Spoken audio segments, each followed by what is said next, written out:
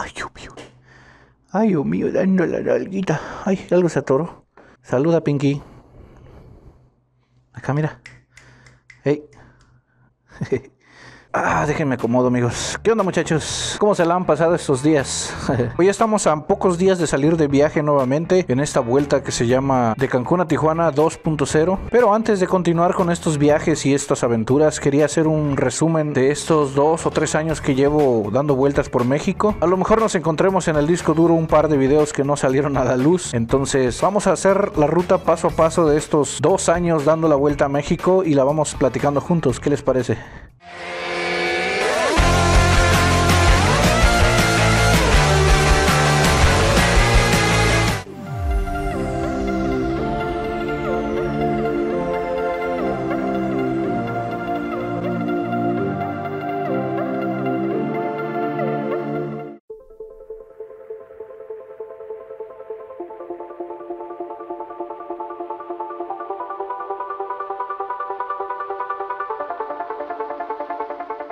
No me veo muy a panzón de acá.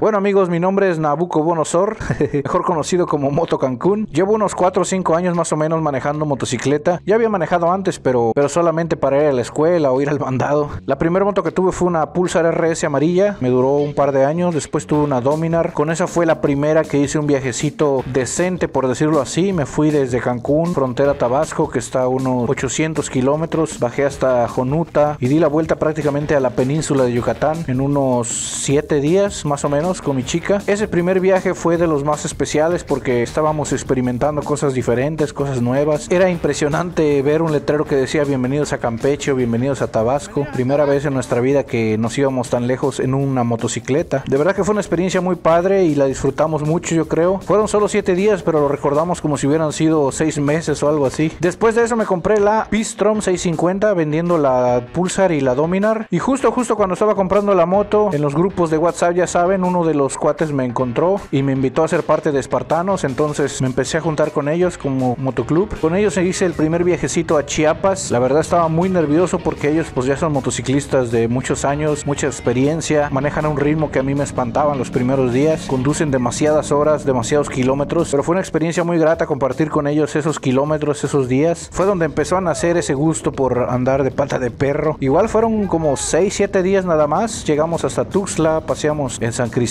Anduvimos ahí en una zona boscosa muy bonita con ellos. La verdad la pasamos muy rico, lo disfrutamos juntos y fueron días muy padres que obviamente están el recuerdo como los inicios de, de esta aventura en motocicleta. Y podría decirse que ahí fue como el bautismo, fue donde dije esto me gusta, vamos a intentar hacer algo más grande, más loco. Pero obviamente el miedo existía. Llegó el evento en Mazatlán que está más o menos a 2700 kilómetros de aquí, del otro lado del país. Y se organizaron mis amigos de espartanos y dije, ¿por qué no? Vámonos, hay que alocarnos por una vez en la vida. Esto en algún punto se va a terminar, entonces vamos a aprovechar que tenemos la moto, que tenemos a estos amigos experimentados. Entonces se planeó, se organizó. En aquella ocasión le dije a mi esposa que iba a ir hasta Tijuana, que quería alocarme y continuar el viaje yo solo. No importaba el clima, no importaba la inexperiencia. Yo realmente quería superar esos miedos, quería conocer tierras lejanas. Entonces la invitaba a ir, pero ella tenía en ese momento trabajo y no quiso dejar la empresa. Prefirió quedarse a trabajar que ir conmigo. Así que ese viaje fue de un mes. Empezamos aquí en Cancún, pasamos por Mérida un evento de bikers, después continuamos hasta creo que Cárdenas, ahí descansamos. Al día siguiente llegamos hasta Orizaba, ahí descansamos también. Después llegamos hasta Ciudad de México, ahí por donde vive un familiar de ellos. Descansamos solo un día y de ahí continuamos hasta Guadalajara, ahí nos quedamos también una noche. Y el último tramo fue hasta Mazatlán. Prácticamente hicimos 2.700 kilómetros en 4 o 5 días. 4 días si no contamos el día de descanso. Ahí estuvimos como 4 o 5 días en el evento y pasando bien. Y empezaron los nervios obviamente a salir porque pues ya había estado con ellos muchos días viajando y iba a ser el momento de despegarme de ellos, de despegarme de esa experiencia, de esos de esas amistades y de continuar solo. Y sí, llegó el día en que tuve que separarme de ellos, ellos se regresaron y yo continué el viajecito cruzando de Mazatlán a La Paz y cuando llegué a La Paz fue el momento en que dije, órale, a disfrutar, ¿no? Tanto que me llevé gran parte de los días que tenía en, en el sur de, de la península. Ahí descansé, después después al día siguiente me fui a una playa que se llama Playa Sargento. Anduve por ahí conociendo las playitas, los arenales. Llegué hasta Los Cabos. Me quedé en un hostal por ahí. Lavé mi ropa por primera vez. Y después seguí el viaje hacia el norte. Me empecé a dar cuenta que los días se me estaban juntando y yo seguía por allá lejos. Mi plan era hacer 21 días más o menos, pero ya llevaba 10, 11 días y estaba pues hasta allá. Apenas había hecho unos 2.000 kilómetros y me faltaban como 10.000. Así que continué el viajecito hacia el norte, hacia Tijuana. Pasé Loreto, pasé Mulegé, pasé Guerrero Negro, por ahí dormí, por ahí me enfermé. Yo estoy acostumbrado a climas cálidos y era la primera vez en que yo me enfrentaba a un clima muy diferente, muy frío. No tenía la maña para protegerme o para cuidarme, entonces andaba yo bien valiente ahí a 12 grados, a 10 grados. Esa noche dormí bien ronco ahí en Guerrero Negro. Otra cosa que me iba pasando es que al tener pocos días, al tener cero experiencia, pues no pausaba, no disfrutaba de los lugares o de las cosas que se conocen o de las cosas más famosas de cada lugar. Por ejemplo, ahí era un es el salar más grande del mundo, tengo entendido, donde se produce mucha mucha sal para todo el mundo. Me enteré ya cuando estaba creo en Tijuana. Entonces, dada esa inexperiencia, pues iba yo como loco ahí avanzando, emocionado, viendo el desierto, los cactus, las dunas, que me pasaba pues cosas importantes. Y así fui subiendo, llegué a Ensenada, estuve con un cuate que me trató muy bien, me recibió ahí en su casa. Estuve dos, tres días, él me llevó al doctor para que me inyectaran, porque pues sí andaba bien malo de la garganta. Continué el viaje a Tijuana, estuve con otros amigos que te ayudan desinteresadamente a cualquier viajero. Y así empecé el, regreso hacia mi casa, pasé Tecate, bajé la rumorosa, impresionante lugar, ahí perdí mi dron, mi primer dron que traía un DJI Spark, lo volé y el viento era tan fuerte y yo no le había puesto bien la batería, creo que al parecer no hizo clic al ponerla y pues los DJI tienen la batería por la parte de abajo, entonces el viento y la batería mal colocada, pues qué pasó que se le salió a medio vuelo y cayó y luego tres trailers le pasaron encima.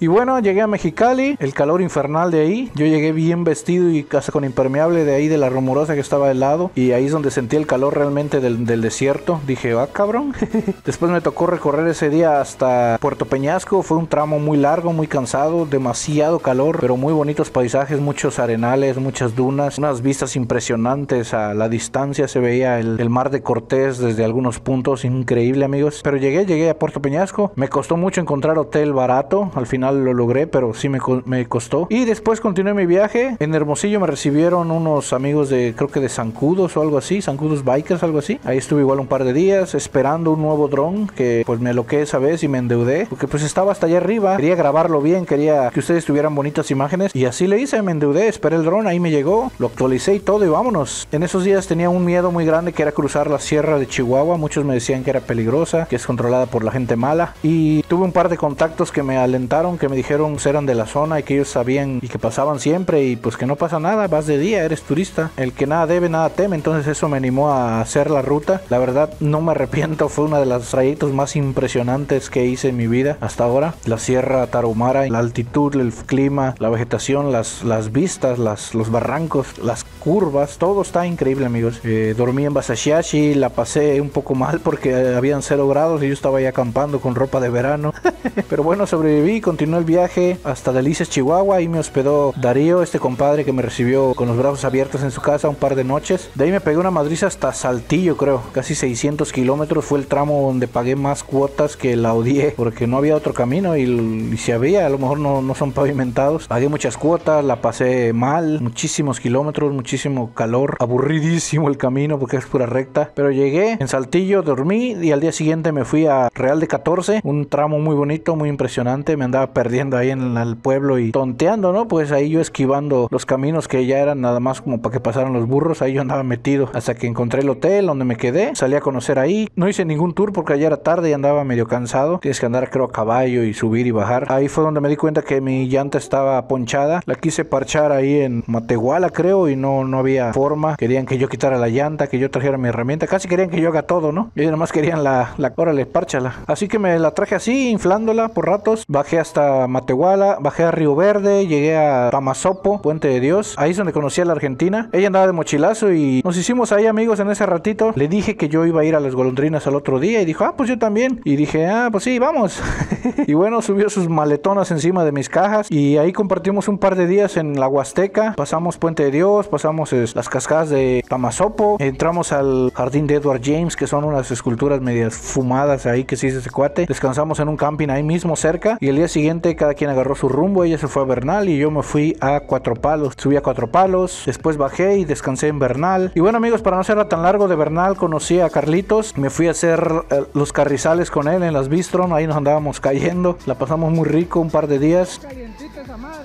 Bajé a Oaxaca, conocí a mis amigos de Oaxapan de León. Ahí estuve como 3, 4 días editando video, trabajando, descansando. De Oaxaca bajé a, Puerto Escondido por un camino infernal que me llevó como 15 horas.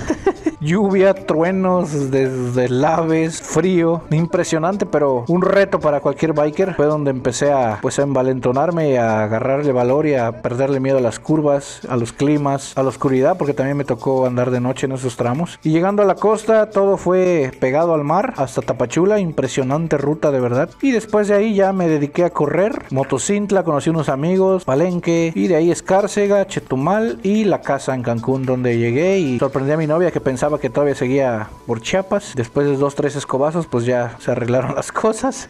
y después de ese viajecito en solitario, me la llevé a Aguascalientes a un evento, creo que se llama La Soberana, algo así. Otra vez con mis amigos espartanos. Fueron que igual cuatro o cinco días, y de vuelta. Fue correr como loco, llegar, disfrutar y regresar otra vez. Ahí me multaron por andar corriendo como loco y quedé traumado. Fueron 8 mil pesos de multa. Entonces desde ahí dije, Nel, ¿para qué hago esto? Mejor despacito. y finalmente se dio el viaje principal, el que todos conocen, México en Moto 2020 ese empezó en marzo. Ese lo documenté mucho mejor, lo grabé mucho mejor. Ya llevaba micrófono. Había entendido más o menos cómo hablar a la cámara, cómo mantenerlos un poco más interesados. Me gustó cómo lo grabé. Poco a poco he ido mejorando en ese aspecto. Es prueba y error esto. Nadie nace sabiendo. Este viajecito empezó en marzo del 20, 2020. Fuimos hasta... El chiste es que ahí hubo un evento en, eh, por Hidalgo. Se me fue el nombre. Y se me, se me ponchó la llanta ahí. Me fui a la casa de Carlitos. Estuve casi un mes ahí. Viajamos a Michoacán hasta Nueva Italia por una ruta impresionante que se llama Mil Cumbres. Anduvimos ahí en México, en la Ciudad de México, cambié mi llanta. También fuimos a Taxco, ahí en Guerrero y conocimos a Angry Lobito. Y después empezó la pandemia, me regresé a casa, me guardé como 3-4 meses. Quise iniciar el viaje en junio, nada más llegué a Bacalar y me tuve que regresar porque mi papá le dio COVID y se puso grave. Gracias a Dios salió de eso y estuve otro par de meses guardado y en, creo que en agosto entonces sí empecé el viaje. Y ya en esta última vuelta fue donde salimos ya más relax. Llegamos a Villahermosa por Campeche, estuvimos con mi amigo René varios días, después subimos a Chiapas por la Selva Negra, descansamos ahí con nuestro amigo Cabrito en Chiapas, después,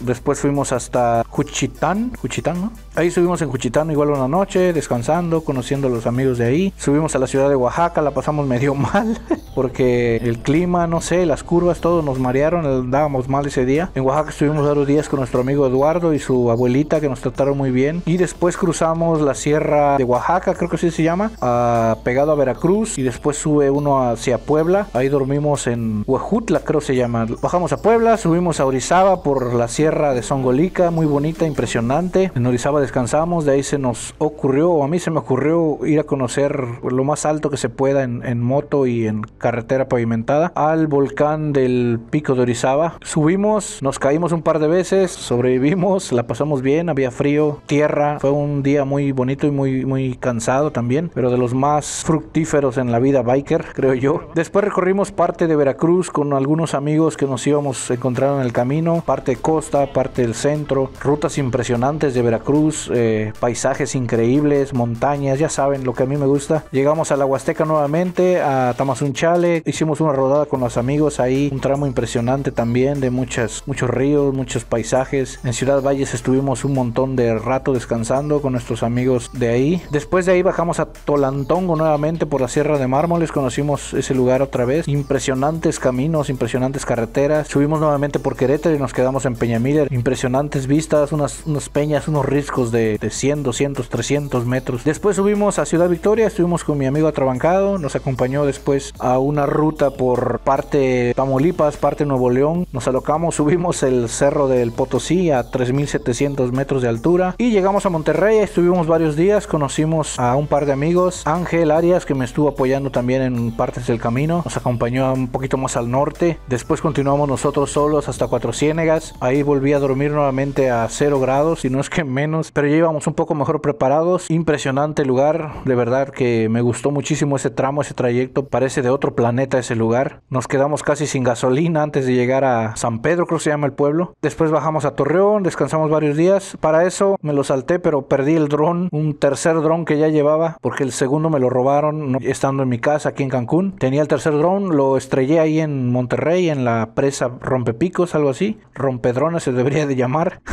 y bueno, estando ahí en Torreón, compré el cuarto dron, que es el Mavic 2, carísimo por cierto. Y viajamos a Durango, donde me estaba esperando mi amigo Yoshi. Con mi amigo Yoshi nos fuimos a un set de grabación de películas del viejo este, hicimos un par de payasadas ahí.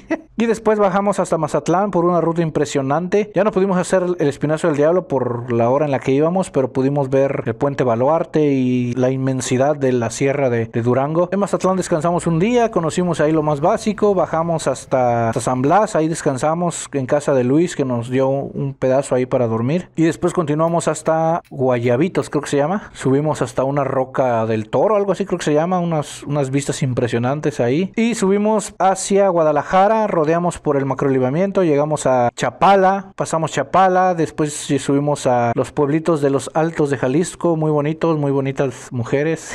y ahí nos despedimos, mi compadre se fue otra vez a San Luis, yo me fui a León, Guanajuato, estuve una semana ahí con el güero, un saludo güero por haberme apoyado en, ese, en esa parte del viaje. Bajé a Morelia, dormimos en Camécuaro, en un lago impresionante de aguas termales y hay unas, unos vuelos de dron ahí que me encantaron muchísimo. Después llegamos a, ¿cómo se llama? Nos no nos querían dejar entrar. Mazamitla. Llegamos a Mazamitla, no nos dejaban entrar porque no teníamos reservación. El chiste es que entramos al final, después nos fuimos a la sierra a conocer algo del lobo, del león, no, del tigre. Y nos andamos cayendo ahí, la pasamos un poco pesadito en ese tramo, pero logramos superar esos retos, bajamos a Colima. Para eso Pinky traía un problema en sus dientes que se le estaban llenando de sarro, pensábamos que ya la iban a dejar chimuela, pero no, la trataron, la limpiaron sus dientitos y todo bien. Continuamos hasta Manzanillo. Manzanillo me pegué con un par de amigos para cruzar Michoacán, que me daba mucho miedo esa zona. Todo lo contrario, la ruta impresionante, las, las playas vírgenes. Ahí estuve acampando como loco.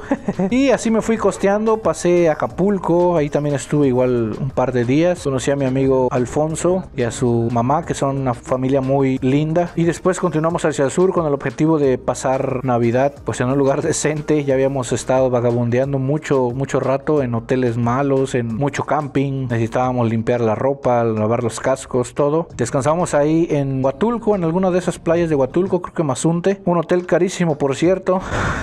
y ya, el último tramo se trató de llegar a casita. Nos quedamos a descansar en la ventosa con otro amigo. Gracias por el apoyo ahí. Y después pasó de que a unos amigos les robaron las motos por un tramo que yo iba a hacer. Pasamos ese día con mucho miedo por ahí, pero lo logramos, llegamos y logramos pasar el fin de año con la familia ahí en el sur de Quintana Roo. Eh, yo traía un problema de la llanta que ahí detecté que era una bola en el, pues en la parte de atrás de la llanta. Ya traíamos cinco meses encima, entonces dije, ah, vámonos, sí llegamos. Pero bueno, fue la peor decisión de, de mi vida biker. La llanta se, se ponchó, nos costó muchísimo trabajo llegar a casa. Está bien documentado esos dos capítulos finales donde la pasamos mal. Pero bueno amigos, eso ha sido las vueltas que he hecho por México. Todo eso en, a lo largo de dos años. La piratita ahorita tiene casi 80 mil kilómetros. En el segundo viaje fue que me llevé a Pinky, a mi señora, y, y la conocieron y la disfrutaron y va a continuar viajando con nosotros en esta vueltecita que sigue. Nos vamos a Tijuana nuevamente y en esta ocasión nos va a acompañar mi amigo Yoshi que se compró la KTM Adventure 390. Ya la vamos a ir probando por ratos también. Así que amigos, esas han sido las vueltas y espero les haya gustado este resumen de mis vueltecitas por México. Mi objetivo es ahorita hacer Centroamérica el próximo año 2022, pero en una moto pequeña, a lo mejor la XR 190L de la Honda. Ya veremos, el plan es que vaya solo, pero, pero igual me convencen de ir acompañado nuevamente, entonces ya veremos. El viaje arranca próximamente, así que esténse pendientes en historias en Instagram y en Facebook. Todos los días voy a publicar la ruta del día, así que cuando me vean cerca de su territorio, pues me echan un mensajito y los pasamos a saludar, a tomar la foto y regalarles un sticker. Así que ya saben amigos, pasen chido hasta el siguiente video y nos vemos, matos locos.